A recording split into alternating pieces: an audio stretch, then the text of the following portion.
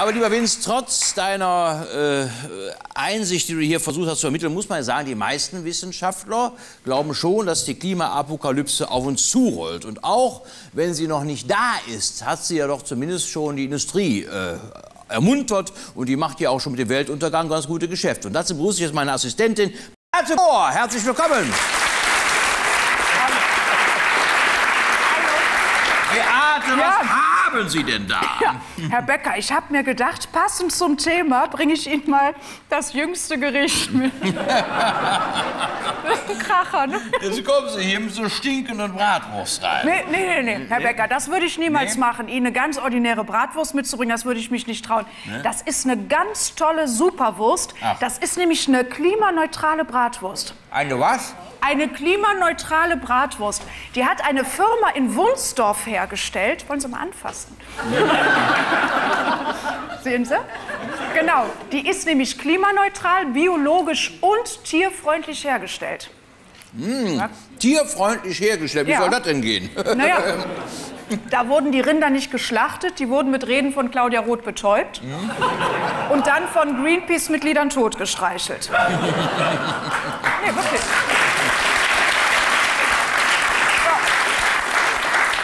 Und für den errechneten CO2-Bedarf für die Fleischherstellung finanziert die Firma dann in Umweltprojekte. Das wische ich gleich wieder auf. Das gibt, das gibt es in letzter Zeit immer häufiger. Das ist ja so eine Art moderner Ablasshandel. Das fing mit der Firma Krombacher an. Da können Sie sich vielleicht noch daran erinnern. Die wollte ja für jeden Kasten Bier, den man trinkt, wollten die ja ein Quadratmeter Regenwald aufforsten. Wir haben alles, alles eine tolle Idee. Das heißt, Walter Mixer könnte den Regenwald in einer Woche retten. Ne? Ja, aber das ist nicht die einzige Firma, die mit der Apokalypse Geschäfte machen will. Gibt ja auch noch die TUI. Die bietet jetzt klimaneutrale Flüge an. Wenn Sie zum Beispiel, Sie da, wenn Sie jetzt nach Mallorca fliegen wollen, wissen Sie, was dann passiert? Da wird für Sie der CO2-Bedarf, den Sie dabei verbrauchen, der wird ausgerechnet. Und das Geld, das investieren Sie in Umweltprojekte, in Initiativen für Umweltprojekte. Das ist doch eine tolle Sache. Und da gibt es die tollsten Sachen, wirklich. Da gibt es Initiativen für ökologische Pornografie. Was? Da, Warum sagt mir das denn keiner? Doch, das ist eine ganz seriöse Website. Dabei lege ich jetzt sogar mal Ja. die Wurst weg. Und das ist hier, die heißt Fuck for Forest.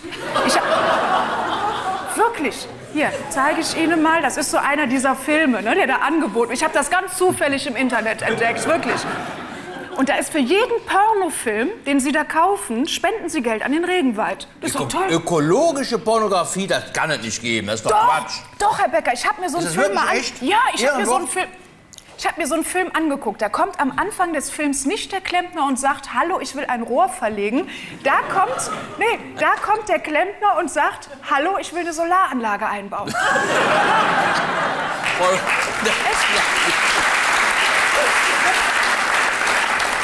Frau Bohr, jetzt Ja. werden Sie unseriös. Nein, nein, nein, Herr Becker, das würde ich niemals werden. Ich habe nämlich noch weiter geforscht und da gab es noch so eine tolle Website. Und zwar kann man da ökologische Kondome und Vibratoren kaufen. Gibt's doch Ist nicht. das doch? Ist das Hier, wahr? Ich habe mal so einen mitgebracht, also wissenschaftlicher Zwecke wegen. Hier. Wie, geht der mit Windkraft oder wie? Nee. nee. Gucken Sie mal. Hier ist so eine Kurbel dran, die kann man aufdrehen. Ja. So. Ja. Und dann funktioniert der. Ist- Hören Sie das? Oh, Wieso? ja. Guck mal hier. Weg, weg. Kann man das, Nee, nee, nee, nee, weg. Kann man das hören? Ja. Guck mal hier. Tatsächlich. Ja, jetzt hören wir das alle. Ja. Ja. Und Alles hier, mit Federspannung. ja, und Ja. hier diese, ach, Das das nennt man auch eine ich. Spirale, ist auch ein Verhütungsmittel. Und hier, das sind ökologische Kondome. Ja, die sind, genau, Lümmeltüten heißen sie. Richtig. Und die sind Ökotest. Ich habe mich damit noch nicht so eingehend beschäftigt. Das sind, äh, die sind Ökotest gut, weil die sind aus Jute. Und gucken Sie mal hier. Wollen Sie den haben? Jetzt hört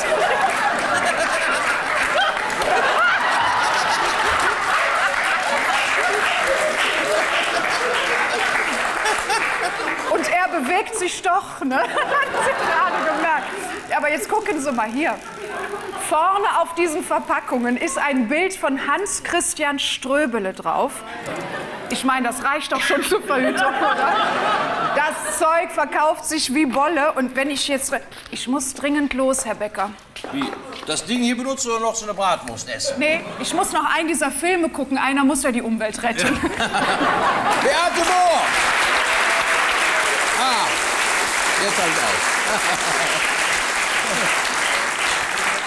Man muss natürlich sagen, für diese ganzen Ökoprodukte gibt es einen riesigen Markt. Öko ist ja heute keine revolutionäre Idee mehr, das ist Lifestyle, nicht? Ja, es ist ja nicht mehr so wie früher bei den Ökos in den 80er Jahren, ne? bei denen ja die Hälfte der vom Aussterben bedrohten Tierarten in den selbstgestrickten Pullovern wohnte. Ne? Das ist vorbei.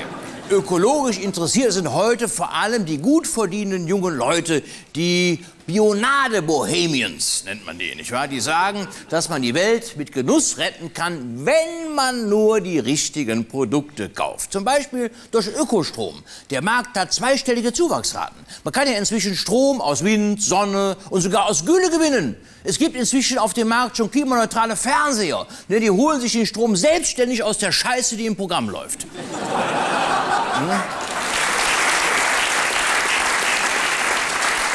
Man sieht, die Gesellschaft rüstet sich gegen die Apokalypse, ob sie nun wirklich kommt oder nicht. Und vor allem wir Deutschen, ne, wir waren ja schon immer Experten in der Vorbereitung von Untergängen.